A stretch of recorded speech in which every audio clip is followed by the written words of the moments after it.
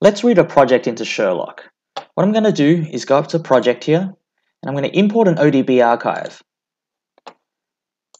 I'm going to click browse. I'm going to browse to my C drive, programs x86, DFR Solutions, Sherlock, tutorials, and look for this odb++ tutorial.tgz file. You should also have this file and it's located where your Sherlock is installed. I'm going to select this file and I'm going to give it a name. I'm going to call it project123 and also name my circuit card. After that, I'm going to click Scan Archive. Sherlock's going to go through and look for PRP fields to map them. We can just leave them as default and click OK. This next screen here shows us what Sherlock's found and shows us what Sherlock's going to do when we select Import Archive down the bottom here. We're going to create a new project, add a circuit card, add all of our properties and stack up data and package data, as well as add all of these layers that Sherlock's found as well. So our copper layers, our solder mask layers, our drill hole files, for instance. Click Import Archive, and you can see immediately here in the task monitor, it's showing us that Sherlock is reading in that ODB archive. And as it reads through, you actually get a status, as well as some notes here to tell you if that read has been successful or not. You also would have noticed that on this left panel here, this project panel, Sherlock's populated a project with all of the files that it's read in, and you can see them here on the left. Once it's read in, you can see that all the files here appear under this Files tab. So we've got our pick and place files, our copper layer files, as well as our other layer files, so drill holes, silk screens, and solder masks for the top and bottom. This project here is completely open, so you can see this arrow is pointing down with all of the contents in here. At the moment, I only have one project, so you'll only see this one project.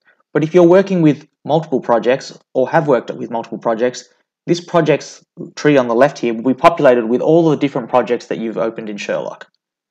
To ensure that you don't accidentally click on the wrong thing or change something in another project, it's good practice after finishing with a project to right click and selecting close project.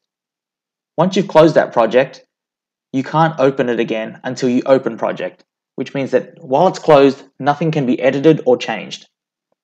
While I'm in this right click menu here, you can also see some other options. We've got our project's property, which I can right click in, and there's a text field here where I can put my descriptions, so I can type whatever I'd like in here. I can put my notes to self,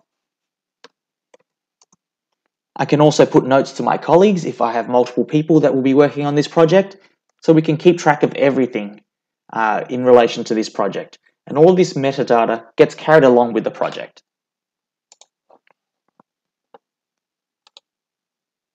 I can also export this project once I'm done working with it or if I want to send it to someone else.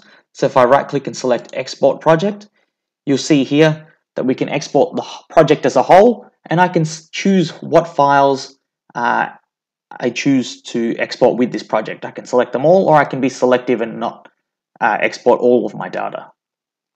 And then I can obviously choose my location and the naming of the project that I'm exporting here. Once I've exported it, the next time I want to open it on another machine or one of my colleagues wants to open it, they can go up to project, import a project and import that, uh, that zipped archive. Uh, some other options in this uh, right click menu of the project is I can add circuit cards or import existing circuit cards onto this project. You'll see that because I read in an ODB archive, Sherlock automatically created a circuit card for me as well with all of its containing files. But I can have multiple circuit cards be part of one project and that is how I would add them. I can clear my project results. Uh, that's pretty self-explanatory. Uh, clicking collapse will collapse it back up uh, so that it's not shown in this expanded view. And I can also show the location of my project, so the working directory of that file.